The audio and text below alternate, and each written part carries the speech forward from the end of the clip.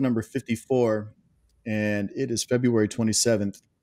And uh, tell us a little bit about yourself, Dawn. Who are you? So, my name is Dawn Thornhill. I am a nurse practitioner. Um, my healthcare career spans about 22 years now.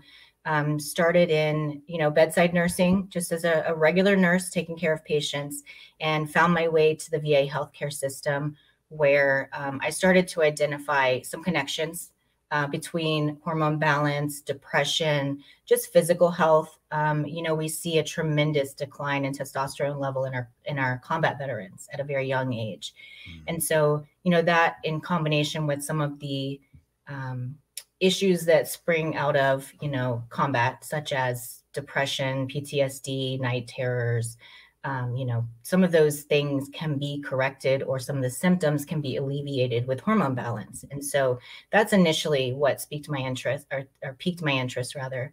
Um, I, you know, continued my career and my education. And, and when I became a nurse practitioner, I thought, you know, I really want to learn more about this. And at that time, I myself was, um, you know, an athlete my whole life. And I had found my way into the bodybuilding world. And, you know, the two kind of cross over when you're talking about health and wellness and nutrition and your physique. Hormones do play a major role in that. And so I started to learn that side of it as well. And I thought, man, we really have a gap in healthcare where we're not addressing this. And with the I guess, growth of functional medicine and that type of medical model where we're thinking more holistically and preventatively. Um, I feel like we could really do some good just by teaching people about hormone balance and some of the things that we can do, not only with TRT and HRT, but with natural methods and means to improve those hormones. So um, I just started teaching myself and, and taking courses, reading books, um, networking, you know, with other industry leaders and just trying to absorb as much as I could from other people who've done this for years. And um, I found my way into to HRT, and um, I kind of combine my my um, bodybuilding and nutritional expertise when I'm teaching patients about how to be healthier. We kind of take a holistic um, viewpoint with those patients and i really enjoy it i work um, you know in hormone replacement therapy but i also am in the air force reserve so um, I spend a lot of my time with active duty military, and you know, I see firsthand the importance of having that energy and motivation and strength and endurance that comes from that optimized hormone balance. And so I just try to teach as much as I can and um, mm-hmm. kind of spread the information so that people can take some control over their health and their life. And that's a really big thing right there. So, first off, thank you so much for your service because you're in the Air Force. That's awesome, Dawn. That is amazing. And we are streaming tonight on Facebook, obviously YouTube, and Twitter. So, hopefully, the word gets out about who you are and what you have to offer us as far as information goes. So, basically, I've been on HRT myself for going on, I'm almost at eight years now. And one of the big things I've learned, um, in, in, in this whole journey is how to be a healthier human being. It's amazing when I was living a deficient life personally myself. Um, I was 39 when I first had when I had my first blood test, and um, I was deficient, but I really didn't do anything about it until a, couple of years later. It was really really a bad mistake on my end.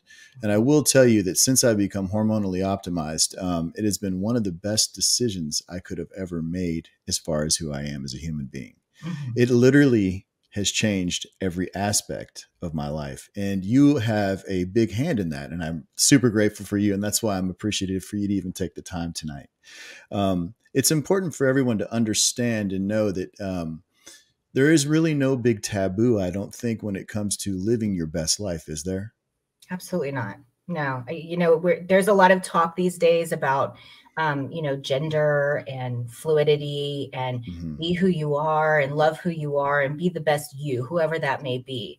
And you know, there's no reason to to to feel like you're doing something wrong and wanting to know what areas you could be better, you know, and if that mm-hmm. means nutrition, if that means supplementing with vitamins or minerals, something that simple, if it means something as big as maybe correcting a hormone imbalance, you know, you really will most likely find, like you said, that it opens up tremendous amounts of energy, mental focus, clarity, better sleep, better sex life.